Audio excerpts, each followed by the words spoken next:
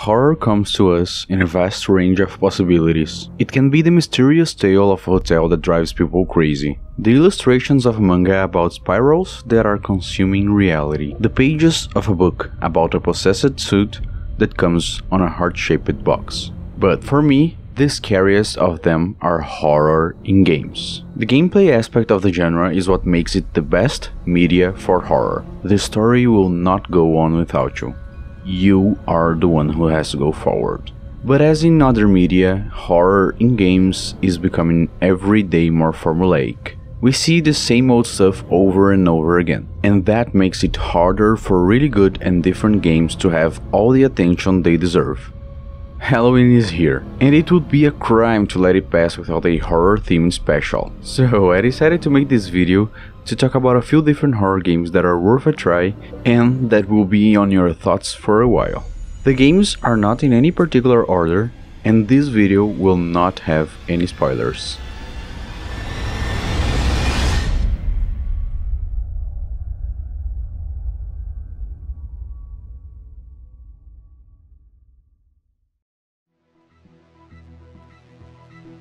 You pull up to the driveway of the family holiday home and park the car.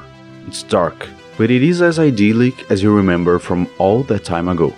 It's good to be back.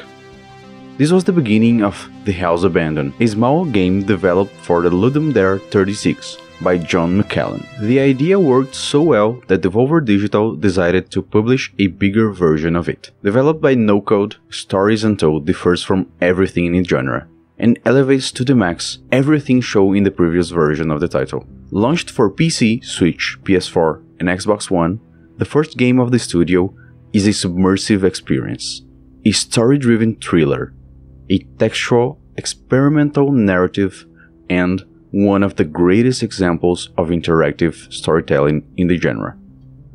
The game consists in four episodes, with different stories, locations, and puzzles. It is almost impossible to talk about it without ruining the experience, so you should definitely play this.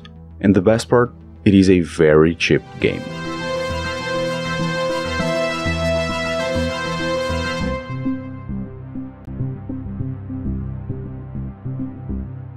Low visibility, top-down perspective, and a non-linear narrative that will haunt you for a long time. Darkwood is a 2014 game developed by Acid Wizard, a Poland game studio that was started by three friends that were tired of their old job. The game had a really successful campaign on Indiegogo, and it became easily one of the best games in the genre. Released for PC, Switch, PS4, and Xbox One, Darkwood explores the fear of the unknown, using audio to basically destroy every sense of security you'll get. An intense sense of fragility and an overall atmosphere with a high lethality that will get you constantly on the edge of your seat. The sum of all that makes Darkwood an easy choice for Halloween season.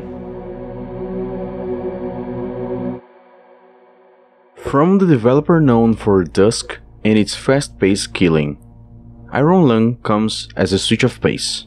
The game takes place on the bottom of the ocean, but not on Earth and the ocean is made of blood. Iron Lung is a short horror game where you pilot a tiny submarine, and well, do I really need to keep going? The game uses sensory deprivation as a main key to create the atmosphere that there is nowhere to go, nobody to help. Iron Lung is a sweet taste of how far short form horror games can go.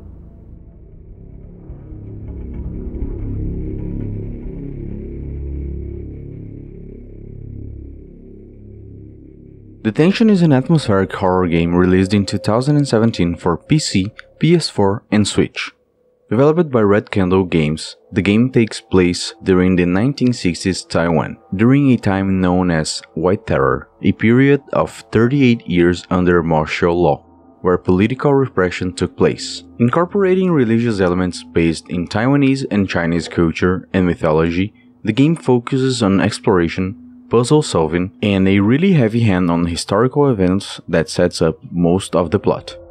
Taking heavy inspiration from classics of the genre and leaving you on a constant sense of dread, Detention calls us to see the ugly side of things, before giving our thoughts and conclusions.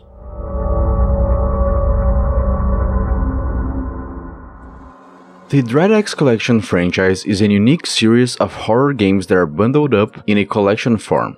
A lot of different short games from a lot of different developers. Some are good, some are bad, some are. Um, well, it's cheap, and there are a lot of new possibilities to try out.